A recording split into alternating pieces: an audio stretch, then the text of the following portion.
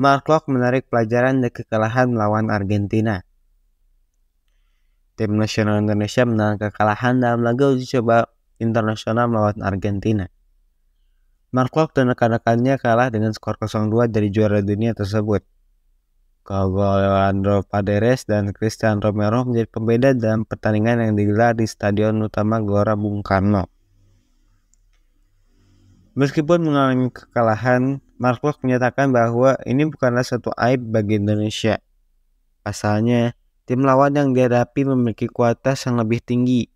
Ia mengakui bahwa tentu saja mereka menginginkan hasil terbaik, tetapi hasil akhir lalu laga kemarin cukup membuatnya bangga. Hasilnya bagus karena kita bermain melawan tim nomor satu di dunia. Skor 2-0 tidak terlalu buruk meskipun dalam setiap pertandingan kita ingin menang atau meraih poin.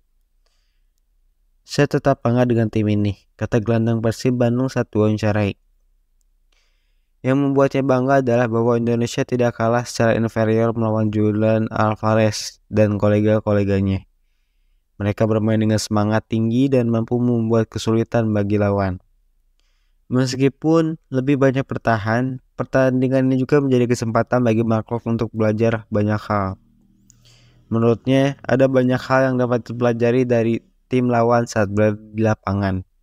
Bagaimana mereka memainkan tempo yang tepat dan setiap individu memiliki visi permainan yang jelas. Pengambilan keputusan yang tepat juga menjadi faktor yang membuat lawan lebih unggul menurutnya. Saya bangga dengan etos kerja performa tim kita dan saya melihat pertandingan ini dengan pandangan yang positif. Sebagai kesempatan untuk belajar bagaimana menjaga tempo permainan, visi bermain, melihat bagaimana Argentina bermain, momen-momen untuk melepas umpan, kapan harus melakukan dribble dan bagaimana membuat keputusan yang tepat. Tegas Klopp.